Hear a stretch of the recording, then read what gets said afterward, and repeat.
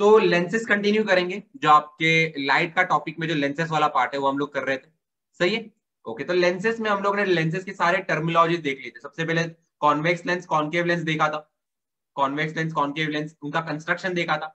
After that हमने उनके terminologies देखे कि प्रिंसिपल एक्सिस क्या होता है पोल क्या होता है centre of curvature radius of curvature फिर focus focal length object distance object height image distance image height ये सारी चीज़ें। इसी के साथ हमने कार्टिशियन साइन कन्वेंशन भी पढ़ा था। अभी कार्टिशियन साइन कन्वेंशन होता क्या है? राइट uh, साइड right में पॉजिटिव लेफ़्ट साइड में नेगेटिव ऊपर पॉजिटिव नीचे नेगेटिव जो आपका कार्टिशियन कोऑर्डिनेट सिस्टम होता है जो हमने मैथ्स में पढ़ा है एग्जैक्टली वैसा ही है। एंड दैट द रीजन इसे हम लोग कार्टिशियन साइन कन्वेंशन बुलाते हैं। तो ये भी हमने पढ़ा। हम लोगों ने ये भी पढ़ा था। ठीक है? चलो। अभी हम लोग इसके बाद हमने फॉर्मूला भी पढ़ा था। तो लेंस फॉर्मूला हमने पढ़ा था one by v minus one by u is equal to one by ये वाला लेंस फॉर्मूला पढ़ा था। इसी के साथ हमने और एक फॉर्मूला पढ़ा था मैग्निफिकेशन अभी मैग्निफिकेशन होता क्या है? ये होता है height of image upon height of object सही है? और ये कितना आ रहा था? Height of image upon height object ये वी बाई यू आ रहा था। Height of image upon height object ये वी बाई यू है। Image distance upon object distance सही है? तो ये फॉर्मुलेस पढ़े थे और हमने एक न्यूमेरिकल भी सॉल्व किया था। तो जिन जिन बच्चों को सारे फॉर्मुलेस के साथ एक एवरीथिंग इज़ क्लियर एक थम्स अप दे दो, चलो जल्दी से। तो लास्ट क्लास में हमने इन फॉर्मुलाज पे बेस्ड न्यूमेरिकल्स देखे थे अभी हम लोग वही कंटिन्यू करेंगे आगे। वही चीज़ आगे कंटिन्यू करेंगे मैं अलग अलग क्वेश्चन दूँगा आपको। क्वेश्चन को कैसे इंटरप्रेट करना है और कैसे फॉर्मुलाज अप्लाई करना है ये सारी चीज़ हम लोग आज देखेंगे। सही है? तो क्वेश्चन देख लो यहाँ पे मैं क्वेश्चन आपको पढ़ के सुना रहा हूँ। क्वेश्चन देख लो यहाँ पे। 5 centimeter high object is placed at a distance of 25 centimeter from a converging from a converging uh, of focal length 10 centimeter. तो जो ये एक स्टेटमेंट दिया हुआ है, ये जो पहला वाला स्टेटमेंट दिया है, इसी स्टेटमेंट में कितने सारे इंफॉर्मेशन है ये देख लो। सही है? ओके सबसे पहले तो जैसे जैसे मैं पढ़ रहा हूँ, वैसे वैसे मैं यहाँ पे लिखते भी जाऊँगा। Five centimetre high object five centimetre high object that means यहाँ पे डायरेक्टली ऑब्जेक्ट का हाइट दे रखा है। तो ऑब्जेक्ट हाइट ऑब्जेक्ट हाइट कितना दे रखा है? फाइव सेंटीमीटर सही है? तो five centimetre high object is place at a distance of twenty five centimetre that means object distance भी दे रखा है। ऑब्जेक्ट डिस्टेंस कितना दे रखा है? 25 सेंटीमीटर दे रखा है। अच्छा पॉजिटिव लेना है नेगेटिव लेना मैं अभी नहीं बताऊँगा। जब मैं सॉल्व करूँगा तो बताऊँगा। यहाँ पे मैं काइंड ऑफ़ एक क्वेश्चन शॉर्ट फॉर्म में लिख रहा हूँ। पूरा क्वेश्चन लिखना थोड़ा हार्ड है। मेरे लिए तो मैं शॉर्ट फॉर्म में क्वेश्चन लिख रहा हूँ। तो five centimetre high object is place at a distance of 25 centimetre from a converging lens converging lens कोई मुझे बताएगा कॉन्वर्जिंग लेंस मतलब कौन से टाइप का लेंस है? यस एनीवन कॉन्वर्जिंग लेंस मतलब मैं कॉन कॉन्वेक्स लू की कॉनकेव लू? कॉन्वेक्स कॉन्वेक्स कॉन्वेक्स सही है?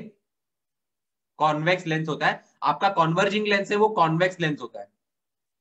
सही है? ऑन द अदर आपने अभी जो बोले नहीं समझ में आया। आपको कॉन्वर्जिंग लेंस नहीं समझ में आया। ठीक है इतना माइंड में रखो। इतना माइंड में रखो जब भी कॉन्वर्जिंग लेंस बोला है तो they are talking about convex lens और जब भी डाइवर्जिंग लेंस बोला है diverging lens. In that case, they are talking about concave.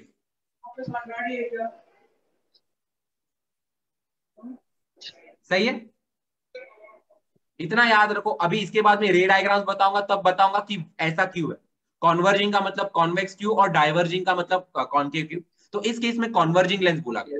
Which is nothing but they are talking about convex lens तो जिन जिन बच्चों को इतना क्लियर थम्स अप दो चलो। कॉन्वर्जिंग लेंथ और फोकल लेंथ फोकल लेंथ दे रखा है टेन सेंटीमीटर तो कॉन्वर्जिंग लेंथ बोल रखा है, और इसी का फोकल लेंथ फोकल लेंथ कितना दे रखा है? फोकल लेंथ है, इसका टेन सेंटीमीटर अभी फिर से पॉजिटिव लेना है कि नेगेटिव लेना है, हमें नहीं पता, देखते। क्या बोला है? Determine the position size and type of image तो क्या क्या निकालना है? पोजिशन निकालना है साइज़ निकालना है और टाइप निकालना है। टाइप का मीनिंग देख लेते नेचर वेचर सही है? चलो। तो ये हो गया आपका क्वेश्चन आपका जो भी क्वेश्चन है, उसको मैंने एक बोलते ना, एक काइंड ऑफ़ रफली मैंने इसे यहाँ पे लिख दिया है। सबसे पहले क्या बोले ऑब्जेक्ट का हाइट दिया है फाइव सेंटीमीटर ऑब्जेक्ट का डिस्टेंस दिया है twenty five centimetre convex lens लिया गया है। और इस कॉन्वेक्स लेंस का फोकल लेंथ दिया हुआ है टेन सेंटीमीटर पूछा क्या है? इमेज का पोजीशन पूछा है, यहाँ पे लिख देता हूँ मैं इमेज इमेज का पोजीशन पूछा गया इमेज की साइज़ पूछी गई और इमेज का टाइप पूछा गया टाइप मीन्स नेचर की बात कर रहे हैं तो अभी मुझे मुझे बताओ, चलो, इसके आगे what should I use start कैसे करूँ मैं क्वेश्चन को? सबसे पहले डेटा लिखना है सबसे पहले गिवन क्वांटिटी लिखनी सबसे पहले जब भी आप कोई भी आंसर स्टार्ट करो मैं आपके बोर्ड के पर्सपेक्टिव के हिसाब से भी बता रहा हूँ you have to write given तो क्या क्या दे रखा है? सबसे पहले ऑब्जेक्ट हाइट दे रखा है एचओ दे रखा है। Object height is five centimetre object height दे रखा है फाइव सेंटीमीटर उसके बाद ऑब्जेक्ट डिस्टेंस दे रखा है। ऑब्जेक्ट डिस्टेंस को यू uh, से रिप्रेजेंट करते हैं स्मॉल यू से रिप्रेजेंट करते हैं। ये दे रखा है ट्वेंटी फाइव सेंटीमीटर अब मुझे ये बताओ इसे मैं पॉजिटिव लू कि नेगेटिव लू? एनी जल्दी से बताओ मुझे ऑब्जेक्ट डिस्टेंस पॉजिटिव लू कि नेगेटिव लू? पॉजिटिव पॉजिटिव गलत. नेगेटिव ऑब्जेक्ट डिस्टेंस हमेशा नेगेटिव लेते हैं बिकॉज़ ऑब्जेक्ट को लेंस के हमेशा लेफ़्ट में रखा जाता है। ये अपने माइंड में लॉक कर दो ये चीज़। ये किसी भी क्वेश्चन में मेंशन नहीं किया जाएगा नेगेटिव ये आपको हमेशा लेना है। सही बात है? ठीक है। तो जिन जिन बच्चों को ये एकदम, जिन जिन बच्चों ने माइंड में लॉक कर दिया कि नहीं, मैं ऑब्जेक्ट डिस्टेंस हमेशा नेगेटिव लूँगा चलो जल्दी से। चलो। अभी ऑब्जेक्ट डिस्टेंस जो है वो माइनस ट्वेंटी फाइव ले लिया हमने। सही उसके बाद कॉन्वर्जिंग लेंस बोल रखा है मतलब they are talking about convex lens अच्छा then we have focal length focal length दे रखा है। कितना दे रखा है? टेन सेंटीमीटर अच्छा कॉन्वेक्स लेंस का फोकल लेंथ पॉजिटिव होता है कि नेगेटिव होता है? एनीवन ये भी मैंने लास्ट लेक्चर में बताया था आपको। रिकॉर्डिंग है, देख लेना। सही है? आपका जो कॉन्वर्जिंग लेंस है, फिर आपका कॉन्वेक्स लेंस है, इसका फोकल लेंथ पॉजिटिव लेना है कि नेगेटिव लेना है? कौन बताएगा मुझे? जल्दी बताओ, चलो। यस पॉजिटिव लेना एग्जैक्टली अगर आपका कॉन्वेक्स है तो कॉन्वेक्स के केस में आपका फोकल लेंथ पॉजिटिव होता है। और अगर आपका कॉन्केव लेंस है कॉन्केव के केस में आपका फोकल लेंथ जो है वो नेगेटिव होता है। इतना अपने माइंड में लॉक कर देखो ये सारी चीज़ें हैं एग्ज़ाम में क्वेश्चन uh, पेपर में नहीं दी जाएगी। क्वेश्चन में नहीं दी जाएगी ये आपको इंटरप्रेट करना है। तो ये विद प्रैक्टिस आता है। तो जितनी ज़्यादा प्रैक्टिस करोगे उतना बेटर रहोगे आप। एंड प्लीज़ एवरीवन जो बच्चे नए हैं और जो बच्चे पुराने हैं तुम लोग भी मेरे साथ लिखो ठीक है? बस यहाँ पे बस पिक्चर मत देखो मेरे साथ बैठ के यहाँ पे मेरे साथ लिखो सो दैट आपकी यही पे प्रैक्टिस हो जाएगी। सही बात है? ठीक है चलो। अभी ऑब्जेक्ट हाइट दे रखा है इमेज डिस्टेंस दे रखा है फोकल लेंथ दे रखा है। कैसे स्टार्ट करूँ मैं? कौन बताएगा मुझे? हाउ शुड आई स्टार्ट सबसे पहले हम लोग लेंस फॉर्मूला लगाएँगे सबसे lens formula one by v minus one by u is equal to one by तो यहाँ पे I will be applying lens formula सबसे पहले फॉर्मूला लिखो। जैसे मैंने बताया है फॉर्मूला के मार्क्स होते हैं। फॉर्मूला नहीं लिखा तो आधा मार्क्स उधर ही कट कर दिया जाएगा। और जैसे हमारा प्रॉमिस है कि हम लोग मॉडरेटर को एक भी जगह पे मार्क्स काटने नहीं देंगे। ऐसा हम लोग ने एकदम मन में निश्चय करके रखा है। तो सबसे पहले मैं यहाँ पे फॉर्मूला लिखूँगा। फॉर्मूला क्या है? One by v minus one by u is equal to one by f सही बात है। अभी बस हमें सब्सटीट्यूट करना है। अभी बस हमें सब्सटीट्यूट करना है। V हमें निकालना है। इमेज की पोजीशन हमें निकालनी है तो वन बाई वी में ऐसे ही रखूँगा। Minus one by u. अभी u के बदले मुझे माइनस ट्वेंटी फाइव लिखना है। जैसा है वैसा सब्सटीट्यूट करो। ऐसा बोलो मैं इतनी इधर ऑलरेडी नेगेटिव है तो मैं नेगेटिव नहीं डालूँगा, कुछ नहीं। फॉर्मूला ऑटोमेटिकली सब कुछ एडजस्ट कर लेगा। जो है वो डालो। यहाँ पे u माइनस ट्वेंटी फाइव है तो माइनस ट्वेंटी फाइव ही डालना है। ठीक है? Is equal to focal length है टेन सेंटीमीटर तो वन बाय टेन डालिए सही है? अच्छा। अभी देखो, इस चीज़ को हमें सॉल्व करना है। ये जो इक्वेशन हमें मिली है, इस इक्वेशन में एक वेरिएबल है v तो हमें ये मिल जाएगा। तो वन बाय वी माइनस और माइनस प्लस बन जाएगा तो यहाँ पे plus one by twenty five आ जाएगा। Is equal to one by ten. तो यहाँ पे आपका वन बाय वी क्या आ जाएगा? आपका वन बाय वी आ जाएगा। One by ten minus one by twenty five. अच्छा टेन और ट्वेंटी फाइव का एलसीएम क्या है? फिफ्टी। टेन और ट्वेंटी फाइव का एलसीएम है फिफ्टी। तो दोनों के डिनोमिनेटर हम फिफ्टी बनाने की कोशिश करेंगे। यहाँ पे वन बाय वी क्या आ जाएगा? इसे फिफ्टी बनाने के चक्कर में यहाँ पे न्यूमरेटर में फाइव लेना पड़ेगा। तो वन बाय टेन को मैंने लिखा फाइव बाय फिफ्टी माइनस इसे 50 बनाने के चक्कर में मुझे यहाँ पे टू लिखना पड़ेगा। तो टू बाई फिफ्टी तो ये चीज़ ओवरऑल क्या बन जाएगी?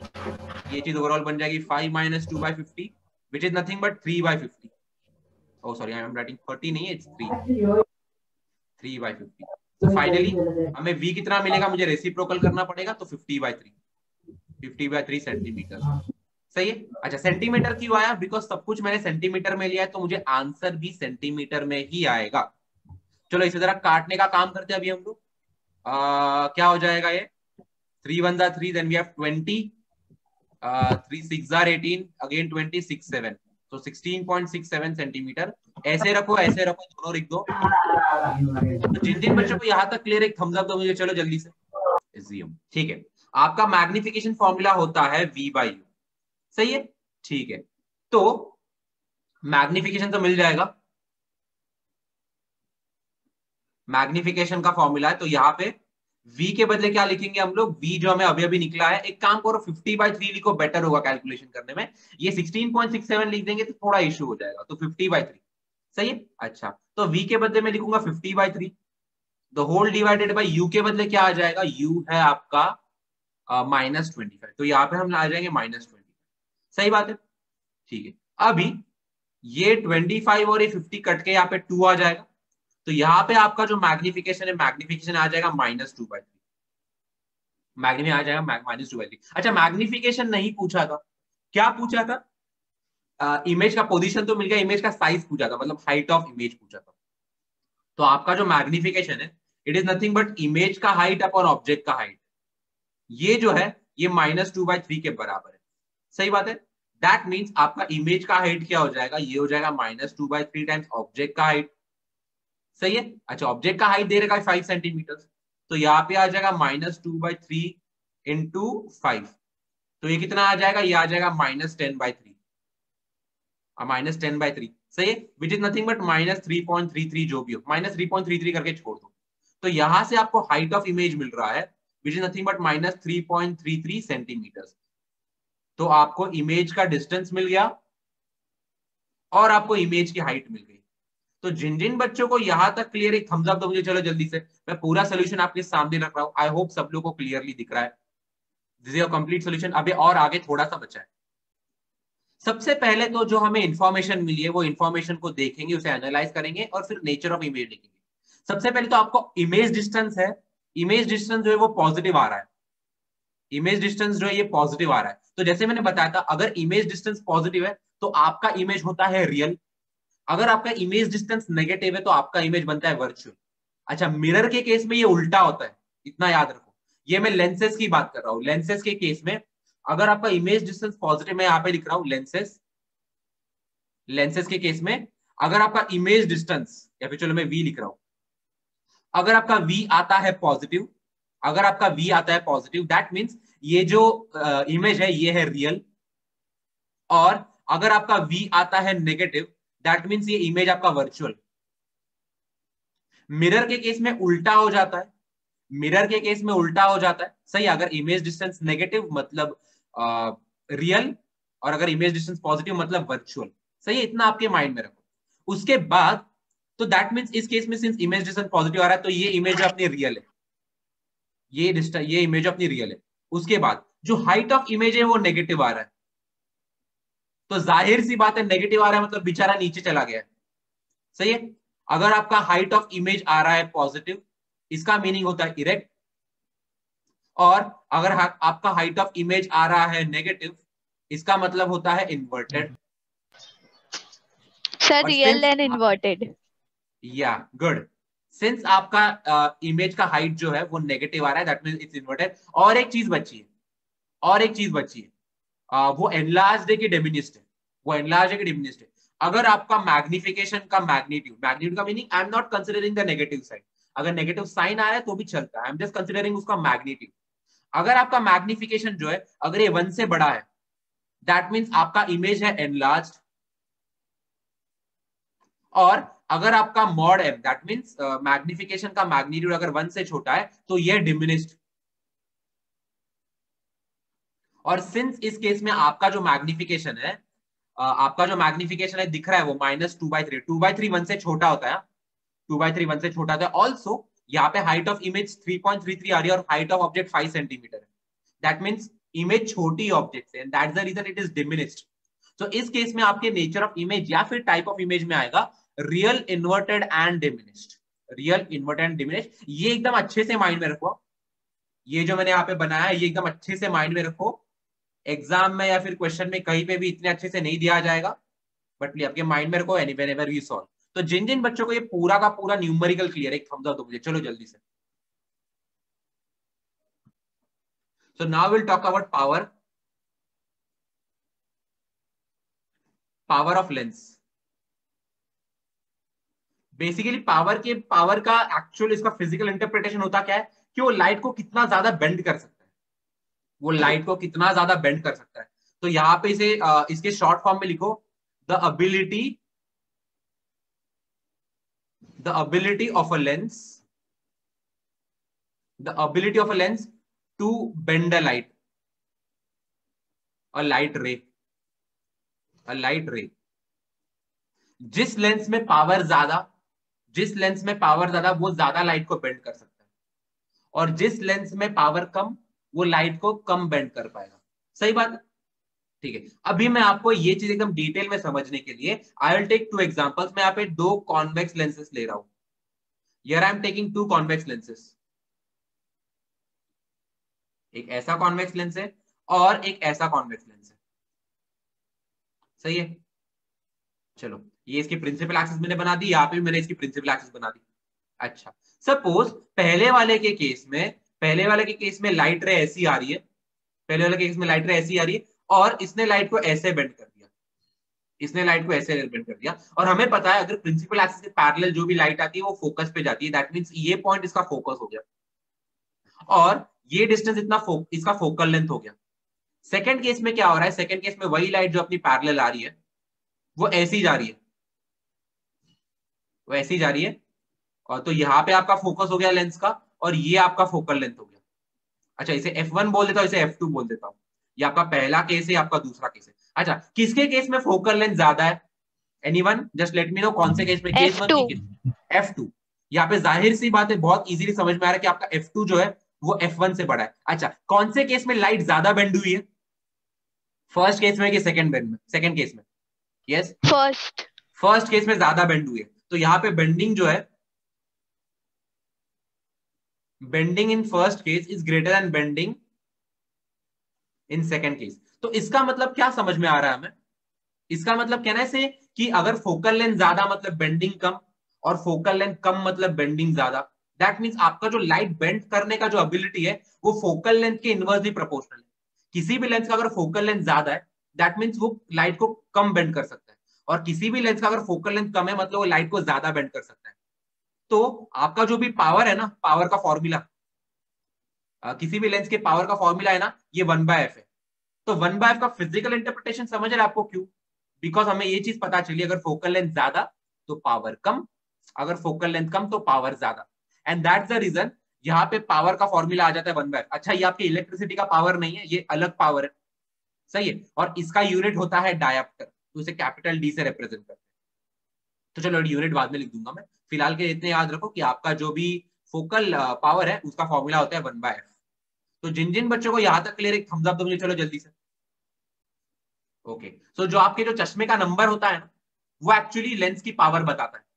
अभी मेरे चश्मे का नंबर है minus two point five minus two point five that means ये मेरे चश्मे के मेरे चश्मे के लेंस का पावर है। तो ये इतना पावर है मेरे चश्मे के लेंस का तो ये यही फॉर्मूला वाला पावर है अच्छा इसका यूनिट होता है डायप्टर तो उसे कैपिटल डी से रिप्रेजेंट कर सही बात है? अच्छा अभी there are two types of lens correction there are two types of eye defect यहाँ पे जरा आई डिफेक्ट की बात करते हैं। वैसे तो बहुत है।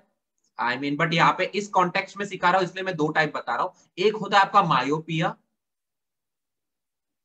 और एक होता है आपका हाइपरमेट्रोपिया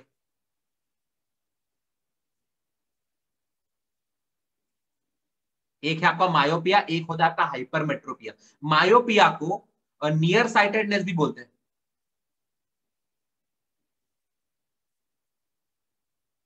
मायोपिया को नियर साइटेडनेस भी बोलते हैं। अच्छा मायोपिया का मीनिंग क्या होता है? अगर जिसको मायोपिया है उसे बिना चश्मे के दूर का नहीं दिखाई देगा और सिंस उसको दूर का नहीं दिखाई दे रहा है उसे पास का दिखाई दे रहा है इसीलिए इसको नियर साइटेडनेस बुलाते हैं। उसे हाँ सर मेरा यही है। अच्छा तो दैट मीन तुम्हारा नंबर नेगेटिव होगा। हाँ। सही है? अच्छा बेसिकली अगर मैं मेरा देखो मेरा माइनस टू पॉइंट फाइव है तो अगर मैं चश्मा निकाल दू तो मुझे नज़दीक का बहुत अच्छे दिखाई देता है, कोई प्रॉब्लम नहीं होता। इनफैक्ट मैंने I am studying when I am reading book उस केस में चश्मा निकाल के रखना मैं प्रेफर करता हूँ।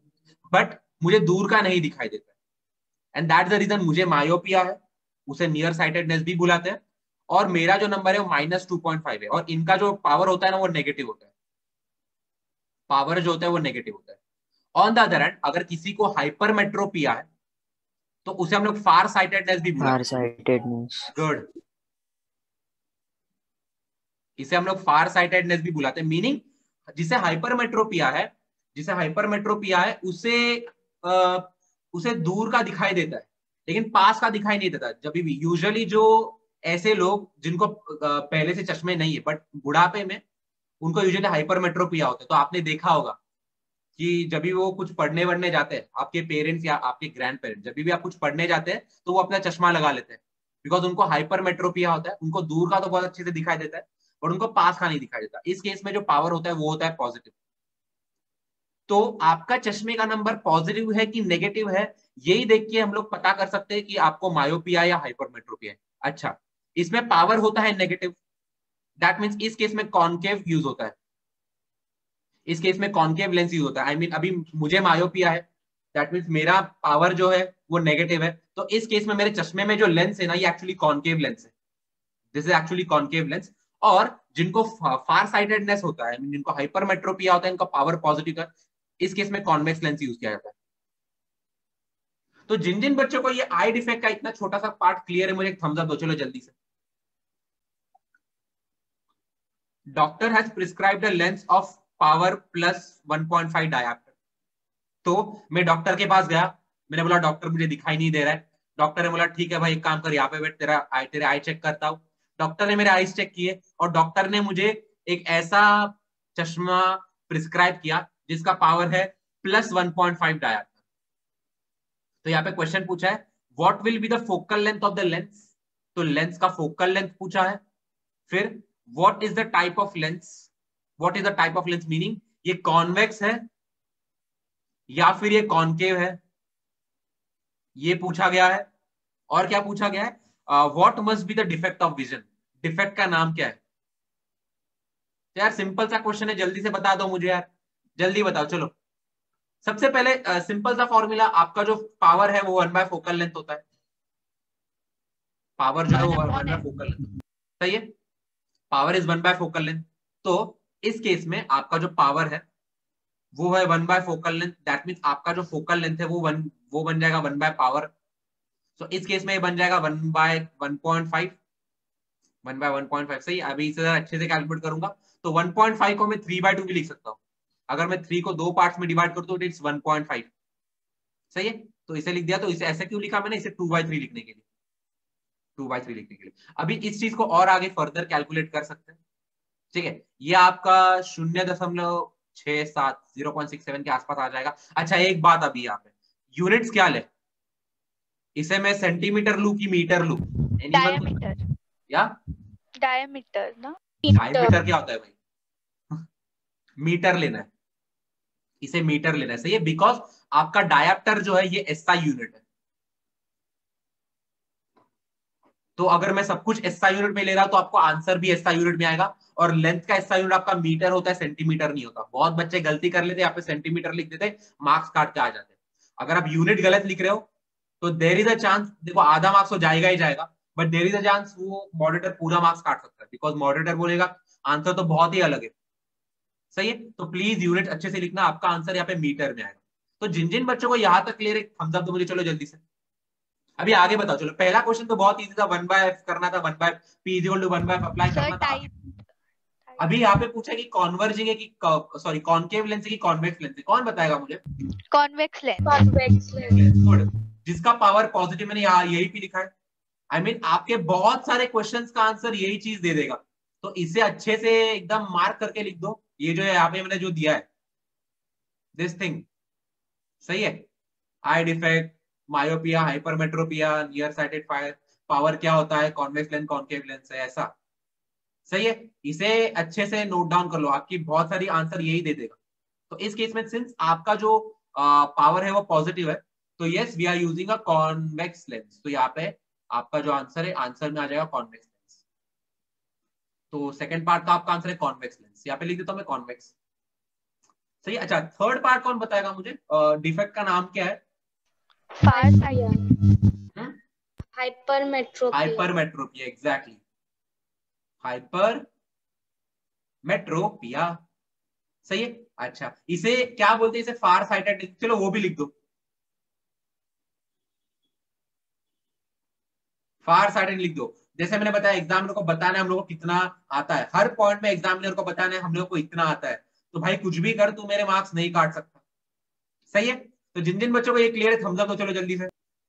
क्या बोला है यहाँ lenses two two point five and one point five dioptre are kept touching in a row what is the total power of the lens combination सही है? तो तीन लेंस सबसे पहले लेंस वन है then we have lens two then we have lens three इसका power दे रखा है टू डायप्टर इसका पावर दे रखा है 2.5 डायप्टर और इसका पावर दे रखा है 1.7 डायप्टर तो क्या बोला है? ये जो तीनों लेंसेस है इन्हें एक ऐसे चिपक के रखा है एक दूसरे के, एक दूसरे के कॉन्टैक्ट में रखा है। एक दूसरे कॉन्टैक्ट में रखा है तो ये आपका प्रिंसिपल एक्सिस है। ये आपका लेंस वन है, ये आपका लेंस टू है, और ये आपका लेंस थ्री है। सही है? इसका पावर टू इसका पावर टू पॉइंट फाइव और इसका पावर 1.7 तो बोला गया कि अभी ये लेंस कॉम्बिनेशन का नेट पावर क्या है? तो ये चीज़ याद रखो, जब भी हम लोग लेंसेज को कॉन्टैक्ट में रखते तो आपका पावर एडअप हो जाता है। तो यहाँ पे एक स्टेटमेंट लिख दो। Lenses in contact lenses kept in contact kept in contact इसका इसका मीनिंग क्या होता है? Power gets add added power gets added मतलब इनका जो रिस्पेक्टिव पावर है, हमें ऐड करना है। तो इस केस में नेट पावर क्या होगा? कौन बताएगा मुझे? ये नेट पावर पूछा है इस केस में। जल्दी से बता चलो, दो मिनट, दो सेकंड का आंसर है ये। Anyone what is the net power हमें बस सिंपली हर के पावर को ऐड करना है। तो पहले वाले का पावर है टू दूसरे वाले का पावर है टू पॉइंट फाइव और तीसरे वाले का पावर है one point seven that's it six point two ओम का आंसर आ गया। Six point two dioptre Yes, uh, 4.5 plus 1.7 is uh, yeah correct 6.2. तो आंसर है आपका 6.2 डायप्टर दैट्स इट सिंपल था। तो जिन जिन बच्चों को एक ले रहे थम्स अप तो चलो जल्दी से। ठीक है। तो क्या बोल के रखा है an object kept 60 centimetre from a lens gives a virtual image 20 centimetre in front of the lens सही है? तो object kept 60 centimetre from a lens तो यहाँ पे ऑब्जेक्ट डिस्टेंस दे रखा है। ऑब्जेक्ट डिस्टेंस क्या दे रखा ऑब्जेक्ट डिस्टेंस 60 सेंटीमीटर सही है? चलो। An object kept 60 centimetre from a lens gives a virtual image of 20 centimetre in front of the lens मतलब इमेज का डिस्टेंस दे रखा है। इमेज डिस्टेंस ये दे रखा है ट्वेंटी सेंटीमीटर लेकिन इसी के साथ क्या बोला है कि ये जो इमेज है, ये इमेज आपकी वर्चुअल है। ये आपकी इमेज वर्चुअल है। सही है? ठीक है। तो क्वेश्चन क्या पूछे what is the focal length of the lens focal length पूछा है लेंस का और इज़ इट कॉन्वर्जिंग और डाइवर्जिंग मतलब लेंस का टाइप लेंस टाइप ये पूछा है। तो जिन जिन बच्चों को क्वेश्चन क्लियर एक थम्स दो मुझे, चलो जल्दी से। ध्यान देना सब बच्चे, अच्छे से ध्यान देना कि इसे कैसे करेंगे। सबसे पहले यहाँ पे मैं सोल्यूशन लिख रहा जैसे मैंने बताया whenever we write solution we start with the data जो गिवन कंडीशन है। जो गिवन है, वो लिखेंगे। सबसे पहले ऑब्जेक्ट डिस्टेंस दे रखा है। ऑब्जेक्ट का डिस्टेंस दे रखा है सिक्सटी सेंटीमीटर तो ऑब्जेक्ट डिस्टेंस को स्मॉल यू से रिप्रेजेंट करते हैं। ये है सिक्सटी सेंटीमीटर। अभी प्लस लू की माइनस लू जल्दी बताओ। माइनस। माइनस। सही है? गुड गुड माइनस लेना है। गुड मैंने बताया था आपको ऑब्जेक्ट डिस्टेंस हमेशा नेगेटिव लेना है लॉक कर दो। मिरर के केस में भी लेंस के केस में भी object distance is always negative तो यस माइनस लेंगे अच्छा यहाँ पे इमेज डिस्टेंस दे रखा है। इमेज डिस्टेंस दे रखा है। कितना दे रखा है इमेज डिस्टेंस यहाँ पे? ट्वेंटी सेंटीमीटर ट्वेंटी सेंटीमीटर दे रखा इमेज डिस्टेंस सही है? अच्छा। इसे प्लस लू की माइनस लू कौन बताएगा? मुझे ये प्लस प्लस प्लस कौन बोलेगा और प्लस लू की माइनस लू यस एनीवन सर क्योंकि राइट साइड में और ऊपर भी है ना इसीलिए। किसने बोला ऊपर है? ऊपर के बारे में बोला ही नहीं कुछ। सही है? यहाँ पे एक बंदे का आंसर आया है माइनस ओम का आंसर आया है माइनस एक्चुअली एक्चुअली यहाँ पे मैं आपको, मैंने आपको यहाँ पे ऑलरेडी बता दिया है। मैंने आपको बताया था कि ये जो बॉक्स में मैंने यहाँ पे जो लिखा है, ये बहुत इंपॉर्टेंट है। तो यहाँ पे आपका इमेज दे रखा है वर्चुअल आपका इमेज जो है वर्चुअल दे रखा है। तो इमेज डिस्टेंस कहना है नेगेटिव होना चाहिए। यहाँ पे देखो, ये मेरे टेबल आपको लिखवाया है। और आपका इमेज डिस्टेंस अगर इमेज डिस्टेंस नेगेटिव मतलब इमेज आपकी वर्चुअल है। तो वर्चुअल मतलब नेगेटिव इमेज डिस्टेंस नेगेटिव होनी चाहिए। तो यस यहाँ पे हम लोग नेगेटिव लेंगे। यहाँ पे हम लोग नेगेटिव लेंगे। यस तो ओम आपका आंसर सही था। You are not sure but yes your answer was correct your image distance is actually negative तो जिन जिन बच्चों को एक ले रहे कि मैंने इमेज डिस्टेंस नेगेटिव क्यों लिया जल्दी से एक प्यारा सा थम्स दो मुझे। अभी हमें u मिल गया हमें v मिल गया। तो स्टार्ट करेंगे हमें f निकालना है और लेंस का टाइप बताना है। फोकल लेंथ मिल गया तो एफ़ का टाइप भी पता चल जाएगा। तो सबसे पहले यहाँ पे सोल्यूशन लिख रहा हूँ मैं। सोल्यूशन स्टार्ट करेंगे फॉर्मूला से। फॉर्मूला के मार्क्स होते हैं रिमेंबर तो फॉर्मूला क्या है? One by V minus one by U is equal to one by F तो करना क्या है? इसमें सिंपली जो दिया है, वो सब्सटीट्यूट करना है। जैसा दिया है, वैसा सब्सटीट्यूट करना है। पॉजिटिव दिया है तो पॉजिटिव नेगेटिव दिया है तो नेगेटिव तो इस केस में v के बदले माइनस वन बाय ट्वेंटी आएगा सॉरी v के बदले माइनस ट्वेंटी आएगा तो v के बदले यहाँ पे माइनस ट्वेंटी डाल रहा हूँ। माइनस यू के बदले माइनस सिक्सटी लिखना है। Is equal to one by F सही है? ओके तो यहाँ पे one by F is equal to ये minus one by sixty plus ये माइनस माइनस प्लस बन जाएगा तो यहाँ पे वन बाय सिक्सटी आ जाएगा। सही है? Then we have minus one by twenty सही है? ओके यहाँ पे जो माइनस माइनस मैंने प्लस कर दिया, और ये तो माइनस वन बाय ट्वेंटी तो है ही। अच्छा दोनों का एलसीएम सिक्सटी है दोनों का एलसीएम एक्चुअली सिक्सटी है। तो मैं डिनोमिनेटर को सिक्सटी बनाने की कोशिश करूँगा one by sixty minus twenty into three हज़ार सिक्सटी होता है तो यहाँ पे आ जाएगा थ्री बाय सिक्सटी सही है? तो ये चीज़ बन जाएगी वन बाय क्या बन जाएगा आपका? ये बन जाएगा one minus three by sixty तो ये आपका बन जाएगा minus two by sixty which is nothing but minus one by thirty तो आपका जो फोकल लेंथ है, वो माइनस थर्टी आ रहा है। यूनिट क्या आएगा? सब कुछ सेंटीमीटर में है तो आपका आंसर भी सेंटीमीटर में आएगा। जिन जिन बच्चों को यहाँ तक क्लियर है, थम्स तो मुझे, चलो जल्दी से कि आपका फोकल लेंथ नेगेटिव कैसे आया। What is length type focal length तो आ गया। अभी और एक क्वेश्चन है कि लेंस टाइप बताओ। लेंस टाइप मीनिंग कॉन्वर्जिंग है कि डाइवर्जिंग है बताना आपको? कोई बताएगा डाइवर्जिंग ओके देखो फोकल लेंथ आपका नेगेटिव आ रहा है। आपका फोकल लेंथ जो है नेगेटिव आ रहा है और मैंने यहाँ पे ऑलरेडी आपको टेबल दे रखा है कि जब भी आपका फोकस अच्छा इसमें नहीं लिखा है मैंने। ठीक है चलो इसमें इसमें और एक पॉइंट डाल दो। इसमें और एक पॉइंट डाल दो। अगर आपका फोकल लेंथ पॉजिटिव है अगर आपका focal length that mean convex lens है। कॉन्वेक्स को हम लोग कॉन्वर्जिंग भी बुलाते हैं। सही है? और अगर आपका फोकल लेंथ नेगेटिव आ रहा है दैट मीन कॉन्केव लेंस है। इसे हम लोग डाइवर्जिंग भी बुलाते हैं। तो आपका ये जो टेबल बना, ये मास्टर टेबल जो बना के रखा था, इस मास्टर टेबल में और एक चीज़ डाल दू। सही है? ठीक है सिंस आपका फोकल लेंथ इस केस में नेगेटिव आ रहा है, आपका जो फोकल लेंथ है, वो इस केस में नेगेटिव आ रहा है। यस तो ये बन जाएगा आपका concave lens which is nothing but your diverging अच्छा आंसर में डाइवर्जिंग लिखना है बिकॉज़ क्वेश्चन में पूछा गया है कि कॉन्वर्जिंग है या डाइवर्जिंग है। तो जिन जिन बच्चों को ये क्लियर है जल्दी से छोटा सा थम्स अप तो मुझे, चलो। ओके